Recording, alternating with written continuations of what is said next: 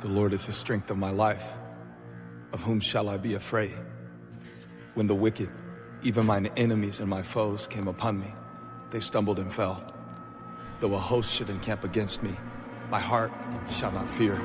Though war should rise against me, in this I will be confident. I've got a promise. Turning back is not an option. There's a calling on my life, and I'm not about to drop it. I got this. For this I was chosen. The final word over me was spoken before I was born.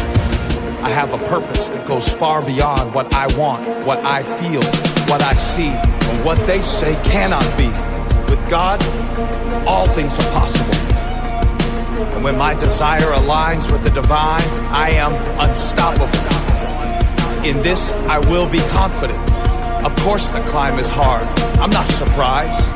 The dream is difficult by design to make sure I rely on His might, not mine. His plan, not mine. His hand, not mine. My assignment was conceived in His heart, His mind.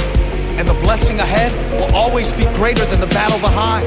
So this is not the time to compromise or entertain a thousand lies and a million reasons why I can't or it won't or it's not or I'll never. I've heard it before, so shut up, devil.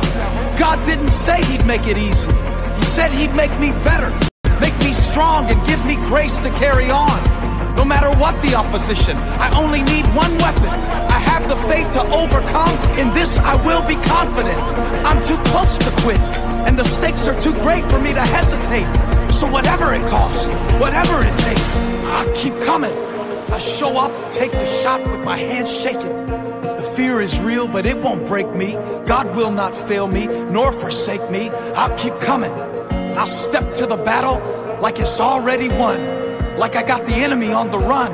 I speak and believe.